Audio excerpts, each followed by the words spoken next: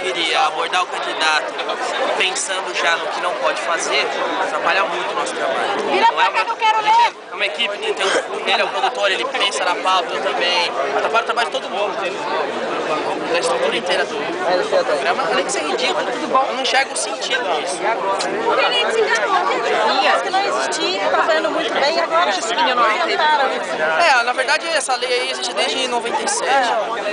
Nessa eleição, especificamente, do presidente, dois anos atrás teve eleição, não era tão assim. Essa eleição, especificamente, o TSE começou a interpretar essa maneira de uma forma mais dura. É uma lei que nem devia existir. Essa lei não devia existir, é totalmente ridícula.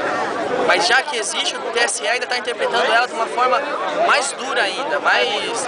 É, é ridículo, né? Eu, eu, escrevi isso uma vez, é...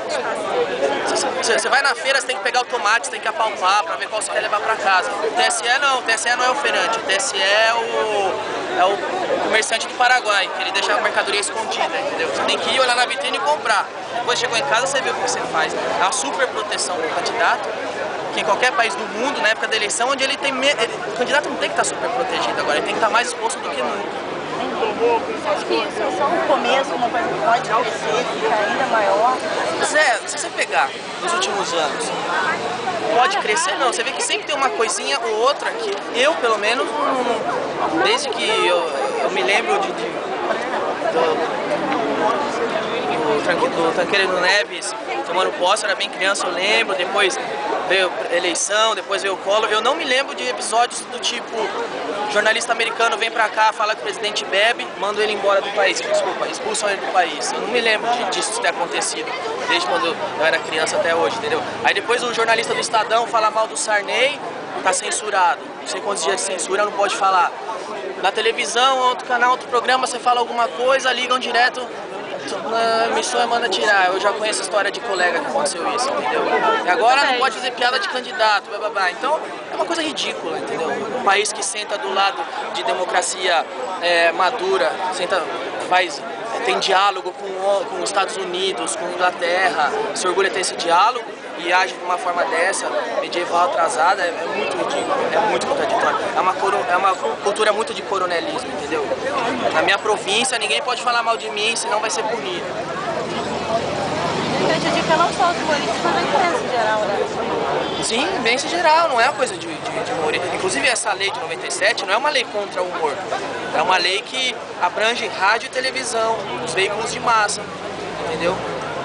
Gente, é, os humoristas estão aqui falando, ó, já que vocês vão censurar, não censura a gente. A gente vai caricaturizar, fazer caricatura de candidato, é o nosso ofício. Entendeu? Vocês vão proibir jornal, vai proibir outro programa de fazer, humorista não pode proibir, a gente tá aqui para desconstruir o que está construído. É o nosso ofício, entendeu? Danilo! Na verdade é ridículo em qualquer esfera da mídia. Danilo, deixa eu fazer uma pergunta pra você. Pode olhar aqui pra câmera. Ô, Danilo. Conhece, hein? Ô, deputado, deputado, como é que vai? Tudo bem? Calma, você me convocou. E se fizer piadinha comigo, eu não, fica queixando a polícia. Não. O, o deputado tá com projeto de lei pra revogar a lei para o parente, o Chico Alencar. Danilo, olha só, a questão da lei 797 a gente sabe disso, já teve outras eleições, mas é a primeira vez que a gente vê uma movimentação tão forte dos humoristas por causa do, de se sentirem censurados. Você acha que isso é porque está havendo uma pressão maior por parte do TSE, da Justiça, ou o papel do humorista mudou no Isso tem um pouco a ver com as duas coisas. Esse ano é eleição para presidente e eu acho que o TSE está pegando mais pesado do que pegou dois anos atrás, ao interpretar essa lei que não existia, mas existe desde 97, entendeu? Acho que o papel do humorista hoje tem, tem sido outro. Hoje o humorista tem a internet para se manifestar, tem blog, tem tudo e fala o que quer.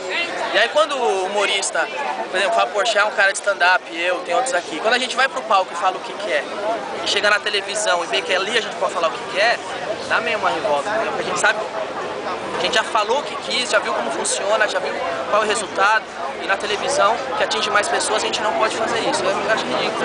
Mas você acha também que tem a ver com você, humorista, também ser formador de opinião forte? No seu caso, por exemplo, além de participar do CQC, você tem uma, uma série de pessoas que saem no vídeo, que tem uma relevância.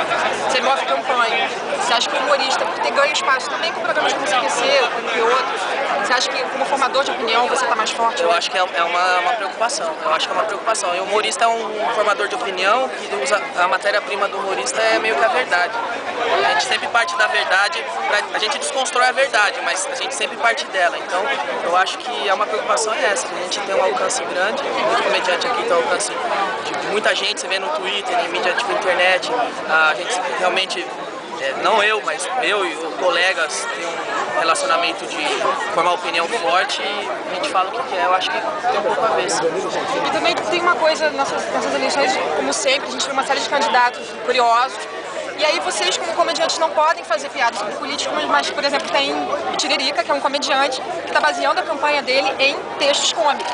Como você avalia isso? Pois é, eu não sei, eu, eu- outro dia eu ouvi o Tiririca fazer isso no horário eleitoral, eu dei risada, na hora eu falei, não, eu não posso rir, vou me multar, fico na dúvida agora.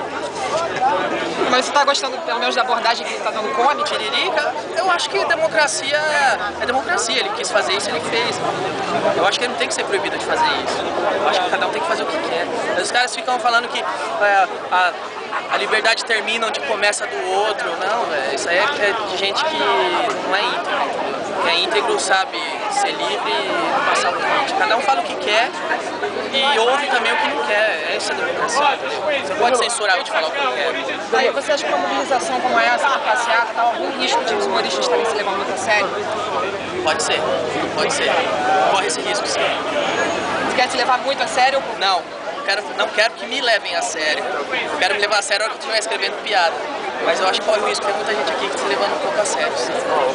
Valeu, obrigada. Nada, você estar raiva de mim?